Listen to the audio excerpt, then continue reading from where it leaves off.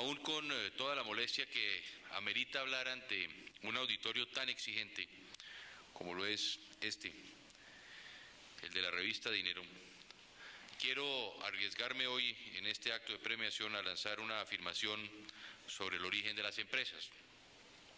A mi juicio hay tres formas de iniciar un negocio. Se puede ser heredero de una rica fortuna, se puede ganar la lotería o se puede tener una buena idea. Como las grandes fortunas son escasas y la buena suerte no está tan bien repartida como la inteligencia, la tercera opción resulta más cercana al resto de nosotros los mortales. Solo con una idea se han emprendido grandes empresas. Al respecto, recuerdo un caso que a algunos de ustedes quizá les parezca familiar. Es el de un italiano vilipendiado que quería llegar a Lacio por una nueva ruta y persuadió para ello a una acaudalada reina española. Yo creo que a todos les suena la historia. Hace unos 180 años existe una república que le hace honor a su nombre. También podría mencionar el caso de un farmacéutico norteamericano, quien con el ánimo de competir en el mercado de tónicas y bebidas medicinales, terminó inventando una bebida a base de azúcar, cafeína, condimentos y agua carbonizada cuyo consumo se calcula hoy en 45 mil botellas por segundo. Intuyo que esta historia también todos la conocen. Concursos como Ventures 2000, cuyos ganadores hoy tenemos el gusto de conocer, están proporcionando un apadrinamiento de la creatividad que nos recordará esas hazañas. El hecho de premiar el ingenio, de permitir que solo gracias a la calidad de un proyecto muchos hombres y mujeres puedan acceder a un capital semilla y al contacto con importantes inversionistas ya es un paso para estimular la creación de riqueza. Los medios, las universidades, las multinacionales, las firmas consultoras, esto es el conjunto de entidades privadas que con la participación del Departamento Nacional de, Planeación lo hicieron posible, están sumando así un ladrillo más a la reconstrucción de nuestra economía.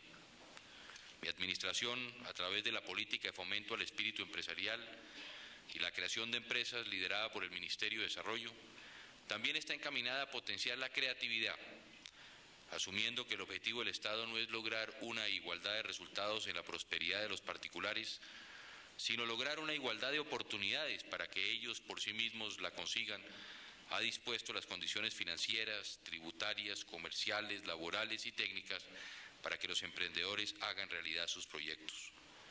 Las condiciones para el éxito de estas políticas están a la mano. Según los datos de la revista Dinero, el 20% de los colombianos entre los 12 y 25 años quieren convertirse en empresarios, frente a los datos de 1991 en los cuales solo un 5% compartía el mismo interés, el cambio es notable. Asimismo, en relación al año 91, cuando un 35% de los encuestados declaraba su interés en convertirse en un empleado, hoy en día, cuando impera una tendencia a tener una mayor independencia económica, esa intención se ha rebajado en 12 puntos. Nuestros jóvenes, como se puede deducir de esta información, quieren crear empresas. La masiva participación en la convocatoria que planteó Ventures 2000 aunque no se restringió a los jóvenes de las edades mencionadas, pues el mayor número de participantes estaba entre los 25 y 36 años, como dijo Juan Luis, también es síntoma de esa vocación empresarial, con esos 725 planes inscritos. Es bueno saber que a pesar de ser la primera vez que se realizaba el concurso, este, y reitero otra vez lo que ya se dijo, rebasó el número de inscripciones de concursos análogos en Argentina, en España o en Alemania. No casualmente afirma nuestro Nobel Gabriel García Márquez que la creatividad, ese don casi celestial, es una de nuestras características nacionales. La convocatoria también demuestra que la elevación de los niveles educativos está indisolublemente ligada a la creación de más y de mejores empresas. Entre los gestores de los proyectos presentados se encuentran, por eso, doctores en microbiología y en biotecnología, profesionales con maestrías en ingeniería química, industrial y de sistemas, en derecho y en administración, toda una mina de conocimientos. Como lo decía un filósofo inglés y como se ha impulsado desde las políticas gubernamentales, deseosas de estrechar los vínculos entre universidad y empresa, el saber es poder. pero para poder saber y con ello aportar innovaciones al desempeño empresarial y competir contra las economías más fuertes del planeta, es mucho lo que tenemos que hacer como sociedad y como Estado. Es una tarea de todos lograr que la educación vuelva a ser una prioridad colectiva. Cuando entendamos que ella es un fin en sí mismo, comprenderemos que habremos aprendido y no solo aprendido nuestra realidad. Ya con ello habremos hecho mucho, demasiado para la construcción de ese proyecto de vida colectiva que llamamos Colombia. Apreciados amigos, en el concurso que hoy premiamos se concentra lo más selecto y lo más diverso del ingenio colombiano. Aunque la mayoría de los concienzudos proyectos se concentraron en el área informática, también lo cual nos indica que estamos pensando en los procesos económicos de vanguardia, la pluralidad de temas presentados fue tan generosa como el número de los participantes. Desde un centro online de asesoría psicológica y jurídica para divorciados, hasta proyectos de reciclaje de Tetrapac a través de procesos bioquímicos, desde la fabricación de aceite de limonaria y microorganismos de nombre impronunciables con fines médicos e industriales, hasta neveras de PVC y cómodas clínicas para perros, desde sitios de Internet con información sobre 3.000 tipos de vinagre, sobre historiales médicos y planes de viajes, hasta sistemas, de cámaras para no dejar de ver a los hijos desde la casa o la oficina mientras ellos están en el jardín infantil, fueron parte de los proyectos presentados. Los finalistas, ante todo, se destacaron por plantear planes de negocios viables y necesarios, dotados de un buen equipo gerencial, de una adecuada correlación entre los costos y las posibilidades ofrecidas por el mercado, de unas estudiadas proyecciones financieras y de una calculada probabilidad de expansión. Bien vale destacar que dentro de los 10 elegidos luego de la reñida competencia, figuran planes de negocios donde la Internet es protagonista, ya sea como medio para dar a conocer al consumidor las ofertas de bienes y servicios disponibles en el mercado, como lo propuso en oferta, o para facilitar procesos educativos, como es el caso de Aprender Haciendo, o para divulgar la oferta de educación, como lo hace Atenea, o finalmente para ofrecer servicios de consultoría al sector financiero, como lo presentó Planning SA, este sistema tiene un inmenso despegue. Colombia, como esto lo prueba, no está a la saga de las últimas tendencias de la economía. Entre los finalistas también figuran proyectos que se destacan no solo por cumplir las típicas cualidades empresariales y por prometer grandes rendimientos, sino porque a la vez generan amplios beneficios sociales.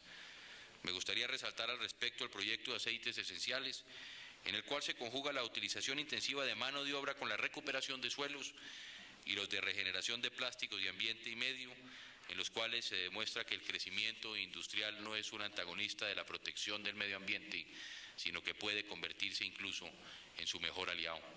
Colombia, como aquí se demuestra, puede ponerse en la vanguardia, vanguardia de esta alianza por la vida.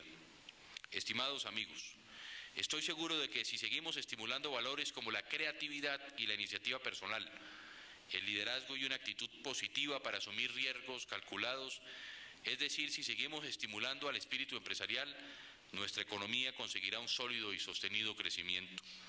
Es claro que la capacidad de las empresas existentes, incluso si se siguen expandiendo, es ya insuficiente para absorber la creciente oferta laboral. Si bien nuestra fuerza laboral es cada vez más educada, nuestro aparato productivo es incapaz de absorber esa mano de obra creciente. En esa medida se debe complementar el fortalecimiento del sector empresarial ya existente con el surgimiento de una nueva generación de empresarios capaces de aportar todo su empuje y todo su liderazgo dentro del marco de una economía cada vez más globalizada. Ese proceso, como lo podemos ver aquí, va en buen camino, ya sea mediante concursos como Ventures 2000, o mediante las facilidades de la política de fomento al espíritu empresarial para acceder a créditos con bajos intereses, para tramitar el establecimiento de una empresa, para actualizarse tecnológicamente, para conseguir una mayor calificación laboral o para asegurar mediante un completo sistema de información y asesoría una adecuada comercialización, lograremos que las iniciativas de los individuos se conviertan en realidades. Yo creo que el Estado debe participar en la vida económica, pero no como un productor directo de bienes y servicios, sino como un apoyo y un estímulo a la actividad de los emprendedores. Esto es aún más válido en la época en la que el conocimiento más que la posesión de la tierra o del capital es la fuente primordial de la riqueza. Ahí tenemos grandes ventajas, dado que los colombianos contamos con una inteligencia, una astucia y una creatividad inigualables, Solo nos falta potenciar esos talentos para alcanzar grandes metas. Estoy convencido de que más allá de nuestros productos agrícolas o industriales, son nuestros cerebros el principal recurso del país. Solo nos hace falta cultivarlos y regarlos para que den sus frutos. Aquí ya tenemos una buena cosecha y una respuesta a una buena pregunta.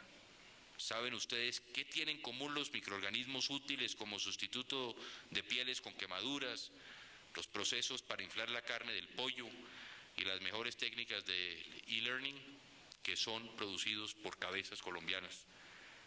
Durante mi vida pública me ha tocado enfrentar a quienes perdieron el genio por el país o a quienes nunca lo tuvieron. Hoy, afortunadamente, me siento feliz de enfrentarme a los que poseen el genio y el ingenio de la nación. No me queda entonces sino celebrar iniciativas como Ventures 2000 y felicitar a sus justos ganadores, a Food Improving Products, a En Oferta, a Ambiente y Medio, a Aceites Esenciales, a Aprenda Haciendo y a Producción de Levanas. Les deseamos muchos éxitos en el desarrollo de sus prometedores planos de negocios y espero que su ejemplo se extienda como una buena noticia por toda Colombia. Ustedes, queridos amigos e innovadores empresarios, son el modelo de una nueva generación empresarial. Buena suerte y muchas gracias.